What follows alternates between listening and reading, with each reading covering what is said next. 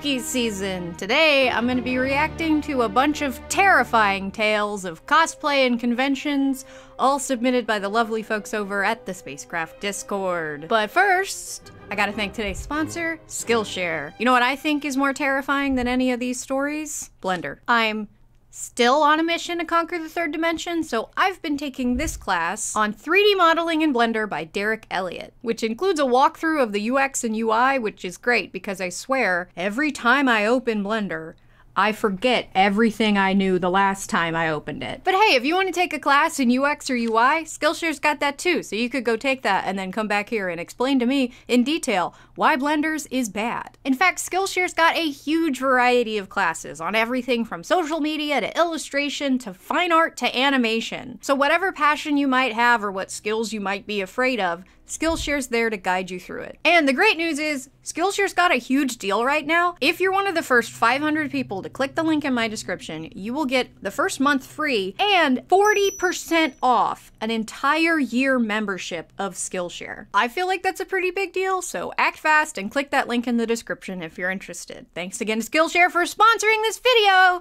Now let me tell you some terrifying tales. The preface to this says, A guy fell in love with my cosplay and by extension, me. I recently went to a con as Purah from Tears of the Kingdom, and I was a little worried that I would get some activity with her being generally viewed as an attractive character. Luckily, nothing happened for the first two days, and I got a lot of positive responses. Congoers were so sweet. Then there was this guy. He seemed younger than me, so I didn't feel in any danger. He asked for a pic, we took one, and then moved on. And then he kept following me around the con. Mmm, love that. Uh, like deliberately. I tried to be nice because I figured, hey, I've done this. I've latched to new friends to experience the con together. I'm socially awkward too. I included him the best I could in conversations, and even took him to the Zelda meetup, where it was a bunch of Zelda cosplayers and this one quiet, lurking, normally dressed guy that only wanted to talk to me and no one else. That's when it started to feel weird, but I brushed it off, us cosplayers decided to get out of cosplay and go play DDR and Project Diva. I said goodbye to the guy, and that was it, until a day later. Day after the con, I checked the con's Discord to see everyone's cool photos. That's when I got a message request from a brand new member. It was the guy. He was even more awkward in the message and started dropping really obvious hints of a crush. Like telling me he scrolled all the way through my social medias, sharing his Purah fan cams Wait, people are making fan cams of video game characters now? Am I so old that I wasn't aware of this? Saying he would buy me stuff, and even going so far as to quote that I. And even going so far as to quote that I would walk 500 miles for you song. I politely turned him down while freaking out to a close friend about what to do about the situation. I'm very ace, so it scared me a ton. I don't know if I was better or worse equipped to deal with it with my friend helping, also being aro slash ace, but the situation was successfully simmered down. I guess the moral of the story is cosplayers are not the real character. Yeah, okay. I will I will be a bitch and tell people to leave me alone because I don't want people to follow me around, especially men. I used to do a lot of Steven Universe cosplays, and I remember there was this guy this one time, and this was very short because, like I said, I will be a bitch and just ignore a person until they go away. Guy asked me for a pic. I don't remember what Steven Universe cosplay I was in because I did so many, but he took a picture of me and then started singing the theme song, and I'm like, uh huh, that's so funny. And I started walking away, and he starts following me and singing the theme song. And at that point, I'm just like, mm hmm Cool. Mm-hmm. My advice for situations like this, yeah, it's really awesome and nice to try to include people, but if you don't in general think that this person is gonna be like your new best friend, sometimes you can make a new best friend at a con and that's awesome. But you don't have to. I don't think you should ever feel like you're a bitch or you've done anything wrong if you do that because you are entitled to your own privacy even in a public space. This next story comes from Anonymous. A few years back, two of my cosplay friends and I signed up to a manga publisher's cosplay contest at a bookstore. The rules said to avoid bot cosplays, but I guess they needed more people so they were lax. My friend and I were mostly going for fun. I was dumb enough to decide to cosplay a winter cosplay in June during a heat wave. I nearly had a heat stroke coming into the store because I was in pants, a dress shirt, and a binder. Thankfully, the store had AC, but I was still sweating bullets. But I couldn't see much through my contact lenses and thrifted prescription glasses. I parentheses I don't wear glasses. You could take the lenses out of the frames. I had a massive headache from the heat, pressure, and eye strain. We came to find out that the judges were comprised of two employees from the manga publisher and a manga slash anime YouTuber. So basically, no one with judging experience. Not that it would have mattered, because only two to three people had entirely handmade cosplays. The rest were either thrifted or modified outfits, or good quality bought cosplays. So clearly just here for some fun. You had to use the store escalators to access the makeshift stage. And everyone's audio files were in the wrong order. Oh, so they were like performing. That's that's a lot for like a bookstore. When we'd finished performing, we waited for the results. And the podium was super weird. The two handmade cosplays that were absolutely gorgeous and actual cosplay contest quality placed third and fourth. Second place was my friend who'd handmade her cosplay, albeit less complex, and handmade the lace even. Ooh, handmade lace. That's actually very fancy and not easy to do. Oh, and they sang opera. So their friend got second place with handmade lace and singing opera. Okay, who got first? And first place was the girl we knew was a clout seeker Oh, who'd bought the cheapest version of the show's signature dress from another friend. We were all super confused. Not to mention, her skit was a scene that had nothing to do with the character's outfit. She later told my friend, whom she often clout leached off, that she was sponsored by the publisher and that's why she'd won. She never received her grand prize though, but neither did anyone else, apart from the prizes the store could provide. So I think we all know that in our world, there exists a whole realm of costume contests or cosplay contests that are not craftsman based. And there's nothing wrong with those existing. In fact, I think those should exist. I think we should have costume contests that are performance based or just like stage presence based. There's lots of those out there, right? And I think those have a place and those are fun and those are a great opportunity for anybody that likes cosplay to get up on the stage and show how much they love their character. But if you're a person that hand makes your cosplays and you like to be judged on the craftsmanship that you put into that cosplay, you might be setting yourself up for a bad time if you choose to enter costume contests that are not craftsman based. Because if your judges are two manga publisher employees and a YouTuber, they're not gonna be able to give you any kind of feedback that might help you grow as a craftsman. And while you probably know that you shouldn't take their opinions too personally, if you end up losing one and you handmade your cosplay, it's gonna feel bad. It, you're not gonna feel good about it.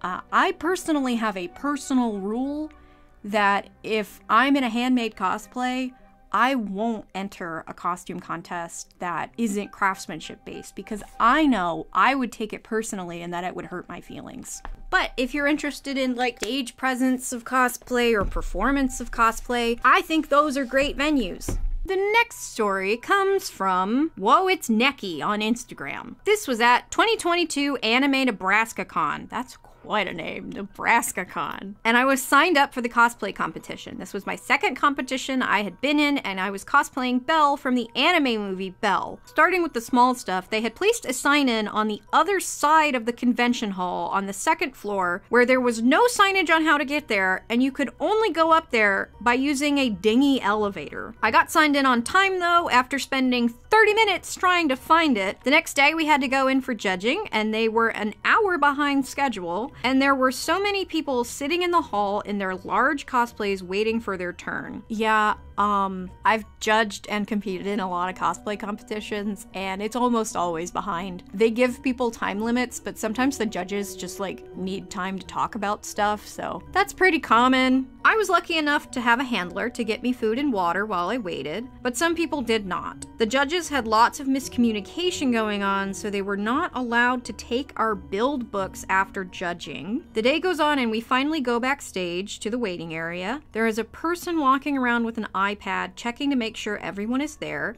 He comes up to me and asks my name. I give it to him and he's scrolling through his device to check me in. I think everything is fine and dandy. The show starts 30 minutes late because the event before ran past time. Everyone is nervous and wants to get over with it. All of a sudden, I notice that the music is not matching up with the characters. Sailor Moon is dancing to Attack on Titan!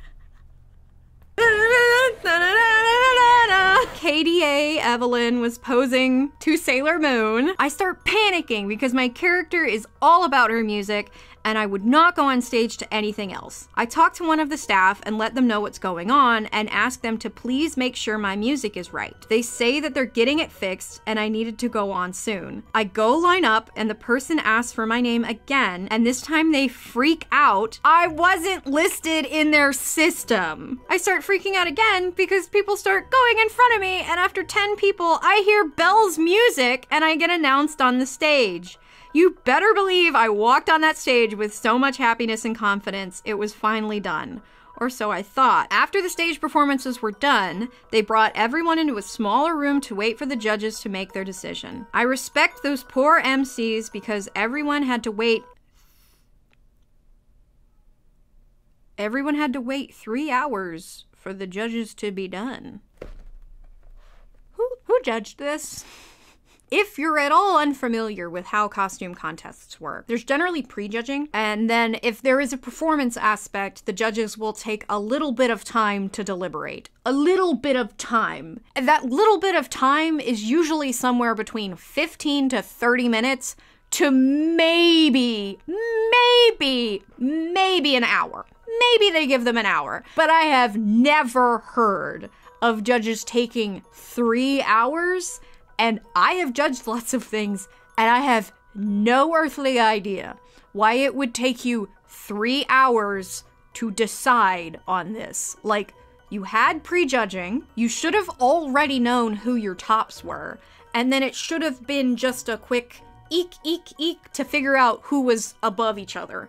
Right. Why would it take three hours? and nobody had left to change out of their costume because they didn't even know how long it was to take. I was so tired at that point, the judges started listing off the winners and I hear my name. You bet I cried after I called my grandma and had the fattest sleep of my life. But yeah, if you are in a costume contest, it's really, really fun, but it does kind of suck and it is really tiring because, especially if you get a really early prejudging slot, and if you're in a cosplay, you can't like easily take off, which is my biggest problem with my cosplays, then you're gonna be in that cosplay for like 12 hours, maybe, maybe more. And the fact that they made y'all wait three hours to hear the judging results is absolutely wild. And I have no idea why that would happen, but it's not a good thing to happen. This next story comes from Anonymous. So when I made my Trish cosplay from JoJo's Bizarre Adventure, I wanted to go all out. Well, when it came to the wig, I ended up really hating my first one. So about a year after making the cosplay, I got a new one. I wanted to go all out on this as well, so I decided to dye the roots darker to add more dimension. I didn't own an airbrush on account of being 16 and broke, so I went with the next best thing. I learned I could use alcohol markers. Well, I didn't have any Sharpies in the color I wanted, but I was part of an AP art student class in high school, which means I have access to a lot of Copic markers. I dyed the roots with the Copic markers and it turned out amazing. The wig was gorgeous and I still get compliments on it because it's so crazy good. Fast forward a few months to con season, my ex friends and I were doing a JoJo Part 5 group together. It was getting cold out and Trish's outfit doesn't cover much. So my friend who I was spending the week with, who was cosplaying Bruno, gave me his hand-painted jacket to wear. Sweet, right? Well, a note on Bruno's jacket. It's white with a high collar. You might see where this is going, oh no. We all ended up going back to his house after the con to hang out, and that's when disaster strikes. I take off the jacket, and the entire back of the collar is stained bright pink. Oh. Along with the back of my neck. Apparently, because the wig hair was in contact with my sweaty neck, all the ink started to run and I didn't realize. So all the wet ink on my neck was soaked into his jacket and it was stained pink forever. Thankfully, my friend was an amazing sport about it. We're not friends now for unrelated reasons, but I still feel terrible for staining his jacket. This is a message to newbies. Please heat seal any ink you do on your wigs and do a wash test to get the extra out. Don't be like younger me and stain people's costumes. Yeah, I actually, back in the day, I did a Femme Todoroki cosplay and I used a white Arda wig and I Sharpie colored the entire red side of his hair. I didn't seal it, I didn't do anything to it. By the end of the day, I had red on this side and not from the scar. It was just red leaking onto my face. So yeah, you can dye wigs with Sharpies, with Copic markers, with alcohol inks, but you gotta be really careful with it and you gotta put it in places that are not in contact with your skin. I don't even know if you seal it. Like, I, there's probably a way you can seal it, but even then, if you're sweating on it, there's probably always going to be a chance that it leaks onto you or your costume. Or worse, somebody else's costume. okay, uh, I said Joe picked these out for me, and on some of the links he put notes, and this note just says farts. Gross. This one is from Dolliedoom on Instagram, and it says content warning for police. So, a few months ago, I was driving home from a local anime convention with my girlfriend, who had just gotten a new car. That day, I was cosplaying A2 from Nier, wearing basically a pleather bikini and a white wig. But my girlfriend wasn't cosplaying. Also important is that something I ate that day was not sitting right. I was gassy. There's the farts. Some might even say releasing demons into that car. I happened to live like 20 minutes away from the convention, so it was pretty much a straight shot home on a well lit road. But there was one minor issue. My girlfriend forgot to turn her headlights on. I didn't know this, and neither did she, because we got probably two thirds of the way there before some red and blue started flashing behind us. And no, I'm not even there yet, but I'm just thinking, okay. You've got a white wigged bikini girl and a normally dressed girl, and the car smells like farts. Nobody else was really on the road, and it was almost 11 o'clock at night, and I kind of started to panic because here I was in a pleather bikini and basically hotboxing the vehicle with methane. My girlfriend pulled over and rolled down the window. Well, I did my best to look the other way and hide my face. Like that was gonna help. I sat in the passenger seat holding my farts. Well, the cop did the whole cop thing, explaining the headlights were off, and my girlfriend stayed cool through it all. Go, girlfriend. But I was not. Farts were building! The cop really didn't acknowledge how I was dressed, but as he turned around and as I thought he would have been far away enough, I unleashed the ungodliest, foulest, loudest, seat shaking, rubber burning stank, and it echoes. I swore that I heard a chuckle coming from the officer. The cop returned. I did not make eye contact. He gave my girlfriend her warning, and we drove off while laughing. Oh, I love the amount of descriptors. Joe's note for this one was periods. Gross also. Content warning for period blood. At SacAnime Summer 2023, I wore Pinkamena on Friday. I've had a bunch of issues with my body and periods, so I was expecting my period to end, as on Thursday, I had no bleeding. So Friday, I woke up on heavy bleeding, so I did my normal Diva Cup and even added an extra pad and period undies to be safe. Ooh, triple protection. Went to the con, and two hours in, I felt like I was leaking, so I went to the bathroom to change and my Diva cup overflowed. Pad was full and undies were soaked. Oh no. I had dripped down my leg and skirt at this point, and no one noticed as I was wearing a bloody horror character. Oh, I started to cry in the bathroom, and my mom came in clutch with extra pads. Oh, go mom. The bathroom was a horror scene before I cleaned up.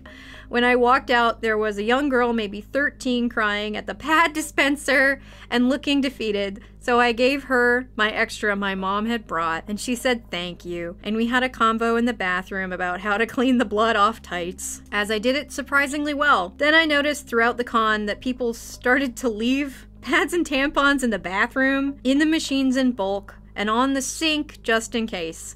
Clearly, we were not the only ones. Oh, yeah, I feel like that happens a lot. Well, I do this too much where I go to a con and I don't bring anything with me to prepare for that, and then I have to bum off friends. That happened at MomoCon. that happened at Florida SuperCon, and every single times I've bummed off pins. So thank you, pins. But when I did go to Sweden, I had everything. I had everything. And I was on my menstruation cycle in Sweden, and nothing leaked because I brought everything. If you are not on the menstrual cup train and you are a person that has a menstrual cycle, absolutely get on the menstrual cup train because they're very good. I'll be TMI too.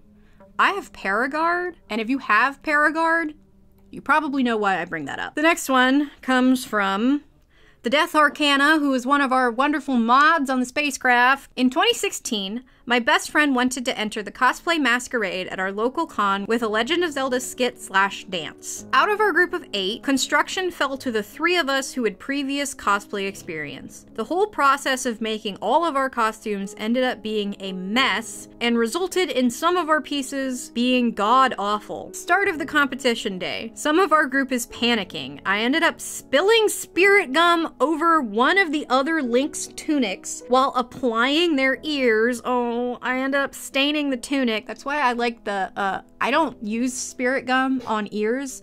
I will use the 3M transport tape and just like wrap it around. It works really well, and you don't have to wait for the glue to dry, and you don't have to risk spilling spirit gum. After staining the tunic, I had a brief meltdown and cry in the hallway, thinking I had just ruined everything. But after a pep talk from one of the other members of our skit, I was ready to go on with everyone. I will also say, if you are in a costume contest, and day of you spill something on your cosplay, just tell the judges. Like having a coffee stain or a spirit gum stain does not take away from any of the work you put into making that cosplay. Uh, some judges out there might be bad judges and take away points for that, but I personally would never put somebody down a peg just for spilling coffee on themselves. Like, accidents happen. Anyway, after the pep talk, we all started walking from our hotel room to the con, which is about three miles away. And this is where I really began to feel my mistakes. I was cosplaying Twilight Princess Link, and in the game, he clearly has a layer of chainmail. Being my extra teenage self at the time, I decided against using a shirt that looked like chainmail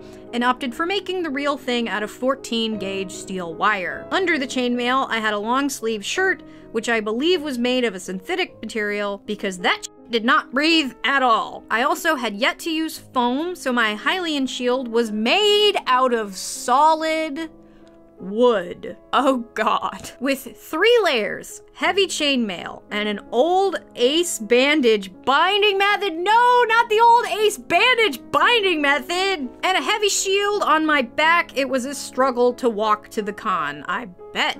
In normal weather, this probably would have been fine, but it was the middle of July during a heat wave. I started to get a headache and getting dizzy before we even reached the con, but I didn't say anything to the rest of the group because I could see how much fun they were all having, so I ignored it. We get to the con and get stopped for pictures a lot along the way, so I started having more fun, but the headache was really intensifying. Even though we were in an air conditioned space, the con is so crowded that it still feels almost as hot as it was outside. After tech rehearsal, I finally said something to my best friend about the headache. It has been about three hours at this point since it started. So we sat down on the floor backstage. One of the Masters contestants saw that I wasn't feeling well, and they offered the couch in their dressing room backstage. Why do the Masters contestants get a couch and you don't? My friend and I went in there and I throw off my wig until it's time to go on stage. As soon as I put my wig back on, my vision starts to go blurry, but I'm too stubborn to quit. I don't remember how our skit went nor do I remember most of the other acts afterwards. The whole time I could barely see, and I had to fight to stay conscious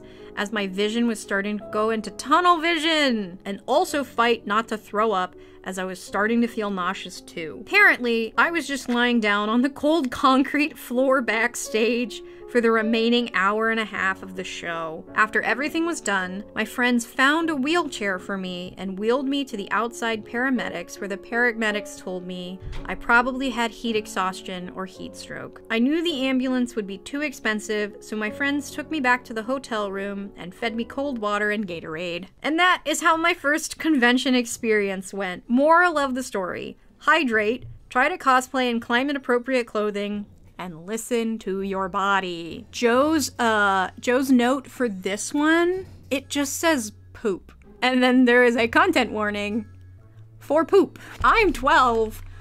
I'm excited to read this one. Okay, this one is from. I didn't put their Discord name in the document, so this one is from Somebody in the Discord. Three friends and I took a road trip to Fanime a decade ago. We check into our room and met up with the fifth person who I had never met. We'll call him S. But a couple others had been friends with him. There would be five of us cramped into this room, totally normal for the con scene in 2013. I would say in 2013 that was probably a low capacity room. We get to the con, spend the evening getting badges, and F's, I can't keep saying S, so I'm gonna call him Sam. We spend the evening getting our badges, and then Sam breaks off to go to a party, while the rest of us headed out for dinner. The four of us ended up having dinner with a pair of cool ladies, and I split off to go around with them while my three friends retired to the room. The three of us hang out, and they offer to let me crash in their room, since it was now 2 a.m. and we assumed everyone was asleep. And then my phone rings just as we're lights out, and it's my friend, R. We're gonna call R, uh, Rhonda. Max, you need to come back to the room. Max, you need to come back to the room. There's shit on the floor. I thanked the two ladies and excused myself. I walked back to the room thinking there might be a leak from the room above or something spilled, and I get to the room and Rhonda is sitting in the hall, silent. I walk in and I see the floor.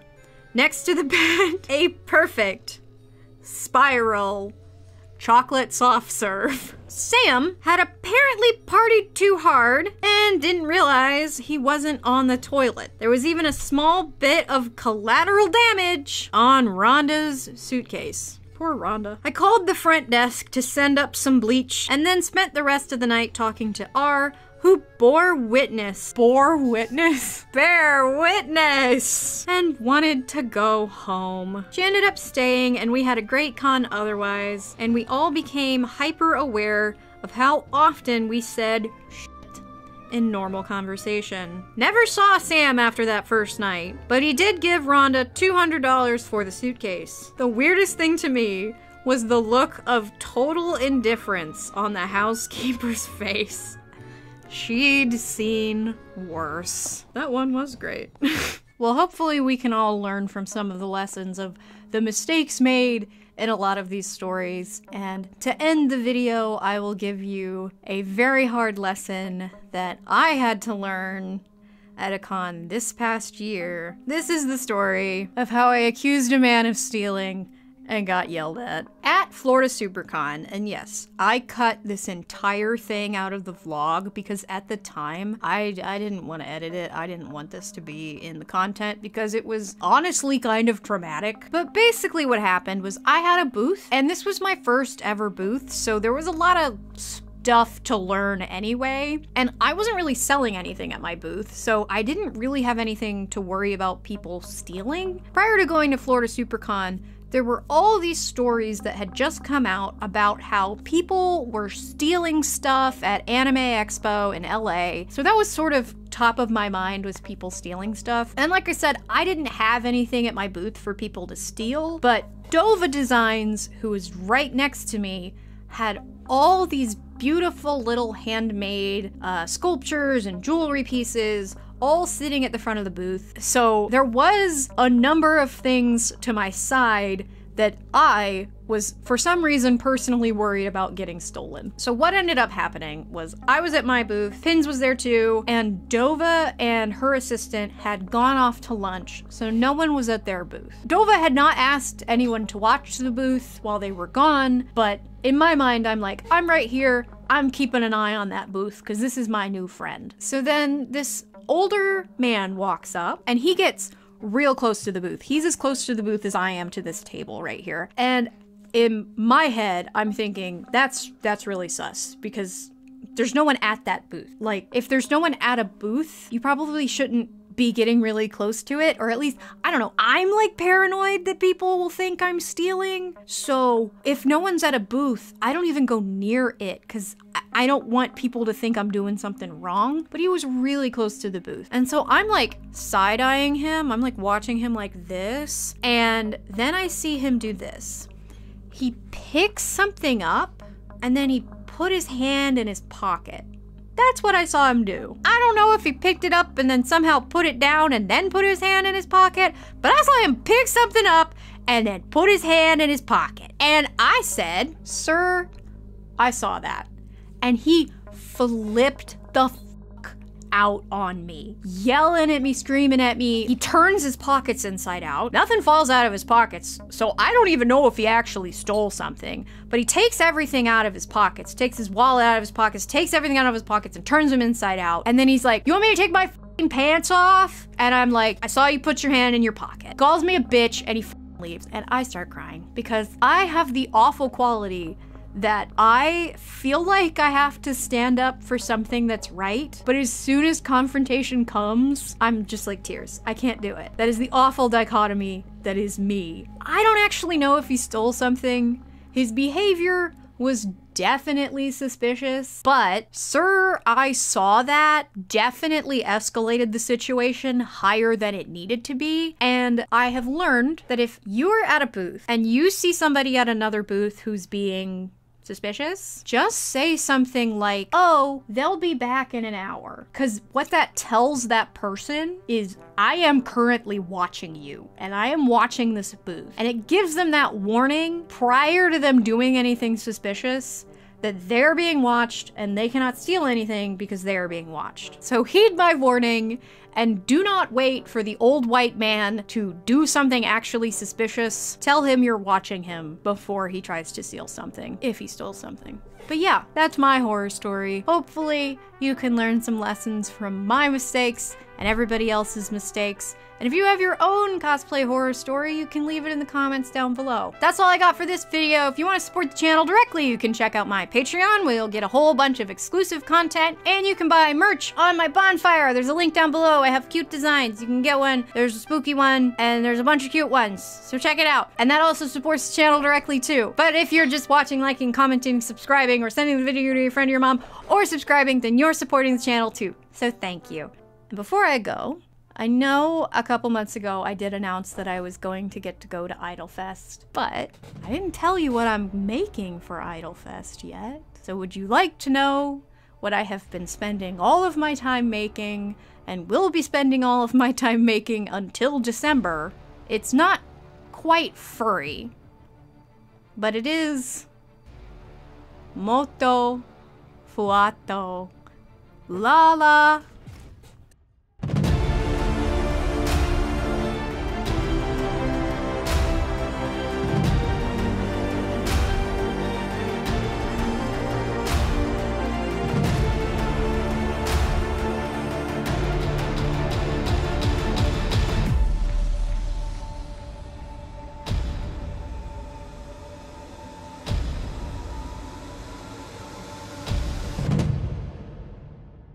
you to the patrons Willow Redwood, Bunny, Clown Supreme, Danielle, Gumdrops Cos, Bunny, Azure Kate, Joey, White Rabbit Cosplay, Hachi, Sweet Spectre, Still Beating Heart of Jeff Gordon, aka my mom, Nicole Fox, Moss the Demon Dude, Donna, A Bit of Cake, Shay, Camille, Ethan, Maple Fran Cakes, Red Roverdose, Peste at Calera, Darian, Gassy Peppers. I have been saying that as Grassy Pep. Pep. Oh, I said it wrong still. It's Gassy Peepers. I've been saying this person's name wrong, and I am sorry to them. Anyway, Tiny Wyvern, Polite Crow asking if you might kindly open the bins for a little rummage. B-Man, Elias, Lotta Bees, Tear Bear, Ray Zach, Sophie, Savannah, Hime Dairy, Cosplay Cookie, Honeybean, Brittany, Lena, Butter, Shelly, Lay, Corden, Nora, Lollipop, Jester, Marshy, Tutti, Fruity, Kelly, Spooky Kitsune Cosplay, Luxurious Cosplay, Jennifer, Abby, Lily, Lunar Lepus Cosplay, Crodelia, Crodelia? Crodelia, tell me how you say your name. Sherry, Hadil, No Roman, LOL, Katie, Amai Jelly, Lady Blue Cosplay, Hania, Fake Smiley 7, Sebastian, Amar, Simrel, Matcha Kit Kat, Walter, Stephanie, Mo, Jodai, Coco Nuts, Nightwolf, Bingus Owl, Alora Polaris Cosplay, Aaron, Tamaki Potato, Gabby Bear, Jesse Chew, Sarah, Another Zip Tie, Hazel, Alec, Jenny, Lady Senshi, Rembulan Cosplay, Jenna, Casmira, Rory, Astrofox, Kimberly, Tam Tam the Tailor, Neneru, Legfish, Amanda, Connie, Paul, GT Cosplay, Zihibi, Cal, Sanselful Flare, Rhyme Like Wine, Alyssa, Queen Platypus, Foxy McLoxy, Taylor, Tessa Bow, Shell, Alyssa, Melissa, Akima Aki, Chibi Lise, Rainbow Lola Gloomshroom, Infinite Salad, Sephestra, Kelly, Hubasta, Magna, Chai, Alba and Brent, Sleepy Ellie, Audrey, Ben, Spacey Stitches, Coco Yumi, Skasa, Ariana, Articus the Tygolf, Miner, Food Penguin, Emmy, Alyssa, Katie, Experimental Blue, Toby, Alice, Rebecca, Slushpuff, aka Corn Copy, Samantha, Adriana, Amber, Kim, Sidney Cosplay, Kaimatsu, Block Kitty DJ, Meredith, Sarah, Cowbones, Lunar, Gaia, Lularash Cosplay, Marcy, So Into Music, Julian, Cam, Zen, Andrew, Pin, Snip, and Clar.